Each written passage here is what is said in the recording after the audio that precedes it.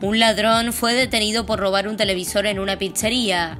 Fue días atrás en un local que estaba siendo refaccionado en 25 de mayo y Rivadavia. El delincuente, Fernando Darío Sánchez, de 42 años, fue arrestado en Francia y Mitre y en la comisaría agredió al personal policial. El lunes por la noche, desde el comando de patrullas informaron que Sánchez entró a robar al local gastronómico, que se encuentra en refacción, tras forzar hasta conseguir dañar la puerta principal.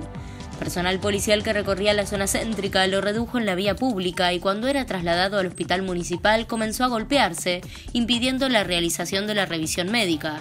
En la comisaría Luján I continúa provocando al personal policial dentro de la dependencia, por lo que fue alojado inmediatamente en celda personal como medida preventiva. En consecuencia, quedó imputado por robo y resistencia a la autoridad por la Fiscalía número 9. El televisor, un LED marca Crown Mustang, fue recuperado por la policía. Robo, pelea y detención en la Plaza Colón.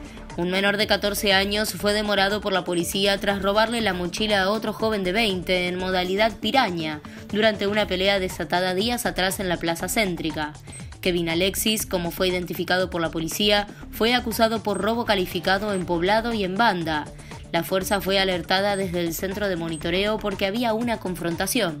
Al llegar al lugar, los policías se entrevistaron con la víctima, Leandro Ariel, quien manifestó que instantes antes varios sujetos le sustraen a la fuerza una mochila con pertenencias, por lo que se produjo una confrontación.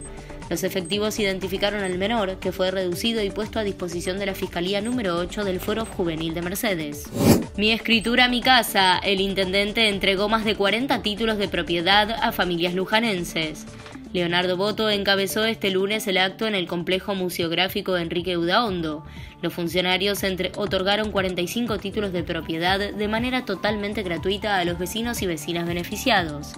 La iniciativa es impulsada por el gobierno de la provincia a través de la Subsecretaría de Hábitat de la Comunidad, dependiente del Ministerio de Desarrollo de la Comunidad, en el marco de la Ley 24.374.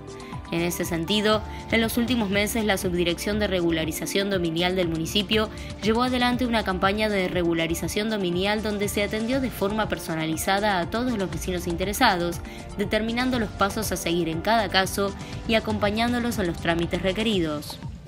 Construirán un nuevo acceso principal a Luján. El intendente lo anunció este martes. Es una obra emblemática que marca la primera gran inversión para recuperar y reposicionar a Luján como destino turístico, informaron desde el municipio. Los trabajos comenzarán en los próximos días y prevén la duplicación de la calzada de ingreso a la icónica avenida desde el acceso este hasta la rotonda Ana de Matos. También se transformará la rotonda ubicada frente al barrio Juan 23. La intervención modificará su diseño con el propósito de optimizar las demandas de tránsito y mejorar su capacidad, comodidad y seguridad. Además, se realizará un trabajo integral de jerarquización y embellecimiento. Avanza la reconstrucción del edificio El Colonial. El intendente Leonardo Boto suscribió este lunes un convenio con el ministro de Cultura, Tristan Bauer, para reconstruir el edificio El Colonial, donde luego funcionará la Casa de las Culturas.